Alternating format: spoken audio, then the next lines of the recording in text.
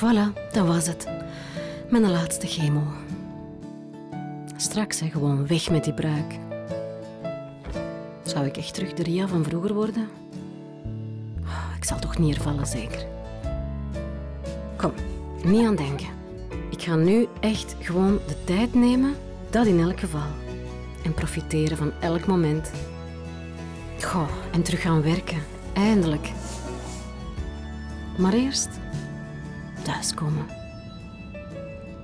Ria moet nu even tot zichzelf kunnen komen. En daar kunnen wij mee voor zorgen. CM, hoe gaat het met u?